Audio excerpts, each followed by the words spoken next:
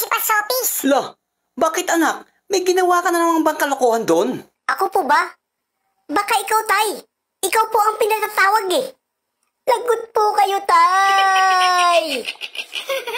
Oh, yeah!